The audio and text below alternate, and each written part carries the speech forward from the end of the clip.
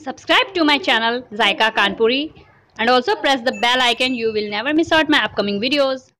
वालेकुम फ्रेंड्स, मैं Sumaiya and welcome to Zaika Kanpuri आज हम आपके लिए लेकर आए हैं कोकोनट कुकीज़ की रेसिपी तो चलिए चीज़ें देख लेते हैं। और फ्रेंड्स, हम आपको बता दें, ये कुकीज़ हम ओवन के अलावा कढ़ाई में बनाएँगे ताकि आप आसानी से बना सके। जिनके पास ओवन नहीं अवेलेबल है तो वो आसानी से बना सके।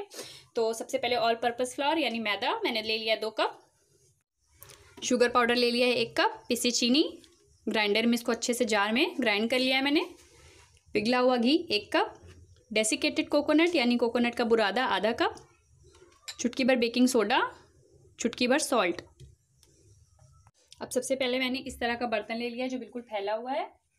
इसमें हम घी ऐड कर देंगे। पिसी चीनी ऐड कर देंगे। इसे अच्छे से मिक्स करेंगे। एक ही डायरेक्शन में। और इसके सारे लम्स ख़त्म करेंगे। ये देखें फ्रेंड्स चीनी लगभग इसमें मेल्ट हो गई है। अच्छे से।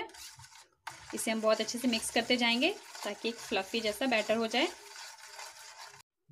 ये देखें फ्रेंड्स ये अच्छे से हो गया है। अब इसमें थोड़ा थोड़ा मैदा ऐड करेंगे और मिक्स करेंगे। एकदम से नहीं ऐड कर देंगे। देखिए बाकी का भी मैदा इसमें ऐड कर देंगे और फिर अच्छे से मिक्स करेंगे। मौसम ठंडा है तो देखिए आप घी किस तरह से जमने लगा है। बहुत जल्दी जल्दी आपको ये काम करना है।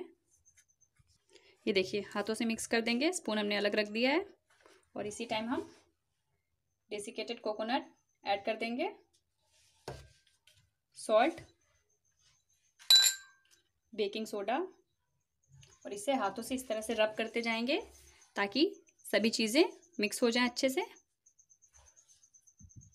देखिए फ्रेंड्स, अच्छे से हमने इसको पिघला हुआ घी ऐड कर करके डो बना लिया है, क्योंकि अगर हमें घी कम पड़ेगा तो फिर इसमें मिल्क या फिर पानी नहीं ऐड करेंगे। मैंने एक कप आपको बताया था तो उससे ज़्यादा भी लग सकता है डो तैयार करने में। आपके मैदे के ऊपर डिपेंड है। तो आप इसमें बिल्कुल भी मिल्क या फिर वाटर नहीं ऐड कीजिए। घी ऐड कर करके इसका डो तैयार कर लीजिए। तो देखिए, ये देखिए फ्रेंड्स अब हम इसमें से छोटे छोटे बॉल निकाल लेंगे और ये देखिए, इनको इस तरह से प्रेस कर देंगे। बिना ओवन के जो बनाएँगे हम, उनको थोड़ा सा पतला कर दें और इस तरह से कुकीज़ में फिंगर अंदर प्रेस कर दें और इस तरह से रेडी कर लें। और जो हमने बनाई है ओवन के लिए, देखिए वो कितनी मोटी हैं। मोटी मोटी चल जाएँगी ओवन में, लेकिन आपको जो गैस स्टोव पर बनाना है, उससे आप पतला ही पतला डिज़ाइन दीजिएगा। तो ये देखिए फ्रेंड्स हमने कुकीज़ का शेप अच्छे से दे दिया, जो हमें ओवन में बनाना है, वो मैंने थोड़ा सा मोटा मोटा और बड़ा बड़ा रखा है, और जो हमें गैस स्टोव पर बनाना है, उसे थोड़ा छोटा बना दिया है। ये देखिए आप, हमने थाली में जिसमें आटा लगाया था कुकीज़ का, उसी में रख दिया है, और इस तरह से थोड़ा थोड़ा गैप पे छोटे हैं, और अब हम इन्हें प्री हीट करते पहले अपनी कढ़ाई।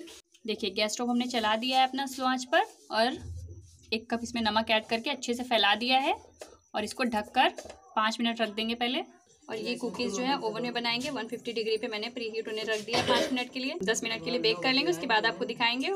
तो ये देखें फ्रेंड्स, पाँच मिनट हो गए हैं। हमने ढकना हटा लिया है अपनी कढ़ाई के ऊपर से और अब इस कढ़ाई को इसके ऊपर रख देंगे, बहुत ध्यान से। रखने के बाद ढकने से अच्छे से ढक देंगे। 20 से 25 मिनट तक अपनी कुकीज़ को बेक कर देंगे। ये देखिए फ्रेंड्स, हमारी कुकीज़ अच्छे से रेडी हो गई है। 20 मिनट हो गए हैं पूरे। डिश आउट करके आपको दिखाते हैं। तो ये देखिए फ्रेंड्स, हमारे कोकोनट कुकीज़ रेडी हो गए हैं। ये मैंने अपने कुकीज़ को बेक किया है गैस स्टोव के ऊपर। ये बेक किया है ओवन के ऊपर। और देखिए, मैं आपको फ़र्क दिखाती हूँ। ओवन से ये होता है कि देखिए, पीछे जो है क्लीन है, बहुत ज़्यादा नहीं डार्क है। और अभी देखिए सॉफ्ट है, बहुत ज़्यादा सॉफ्ट है, क्योंकि मैंने इन्हें फ़ौरन निकाला है। इन्हें थोड़ी देर रखेंगे अगर तो नॉर्मल हो जाएगा। तो आप इस बात से परेशान ना हो कि कच्चे रह गए होता है ऐसा। और ये देखिए, ये मैंने गैस स्टोव पे तैयार किया है। तो नीचे इस तरह से हो गया है थोड़ा सा निशान, लेकिन इससे कोई दिक्कत नहीं है। और ये देखिए, ये भी अभी सही से रेस्ट पे रखने वाले हैं, थोड़ी देर में हो जाएँगे। और मैं आपसे ये कहना चाहती हूँ कि आपने जो सॉल्ट यूज़ किया है बेकिंग के लिए, उसे आप फेंकें मत, क्योंकि हम उससे पिज़्ज़ा बनाएँगे। जी हाँ बिना ओवन के पिज़्ज़ा बनाने वाले हैं तो फिर उस सॉल्ट को फेंके ना किसी चीज़ में भी रख लीजिए। मेरी वीडियोज़ आपको कैसी लगी, बताइएगा ज़रूर। अल्लाह हाफिज़।